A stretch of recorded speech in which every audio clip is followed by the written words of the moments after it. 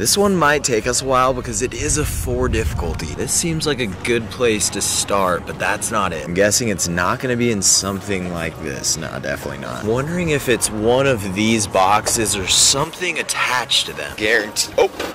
Nope, not in that. The temptation to try looking in something like this, but do not touch, no way. I was thinking one of these poles could be fake, but it seems like everything is supposed to be here. Times like these, you've got to use the camera to get up high. Still nothing. Looked over every square inch of this box, but still no signs of anything.